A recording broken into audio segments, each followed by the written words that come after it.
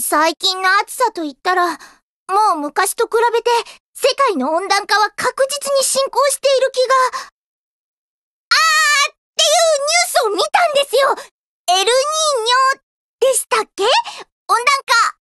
ね昔のこととかよく知らないですけど。でもですね、最近暑くなって、もう夏真っ盛りじゃないですか。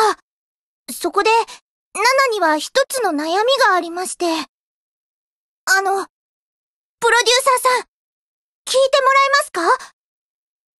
というのもですね、メイド服が熱くって、いやいや、笑い事じゃないですよ！ハングリー精神を忘れぬための戒めでもあるメイド服ですが、こう暑いと T シャツと短パンとか、ジャージみたいな楽な格好をしたく、ああ、いや、ナナはほら、ウサミン星人ですから、ウサミン星ではウサミン星なりの格好をしますけどね。本当はね。でも、それはそれで、はいそれに、今一番の悩みがあるん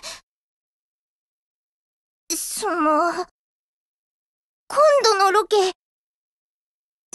着、じゃないですか。なら、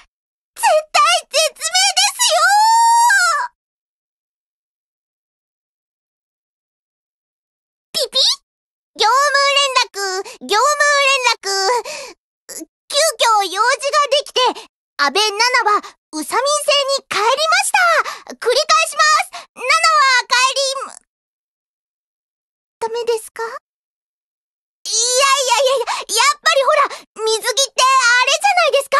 その、なんと言いますか、今まで堅くなに守ってきたというか。ナナ自身も、そこは踏み入っちゃいけないところだと思って、セーブしてきたわけですよ。ほら、やっぱり禁断のゾーンと言いますか。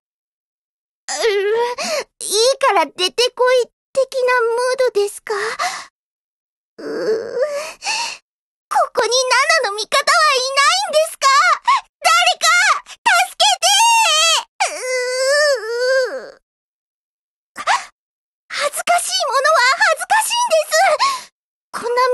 て、もう10年は来てませんよ !JK ですけどうーん、見ないでください。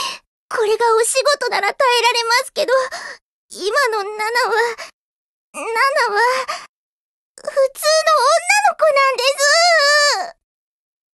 うわこんな思いをするなら海に逃げ込みたいけど、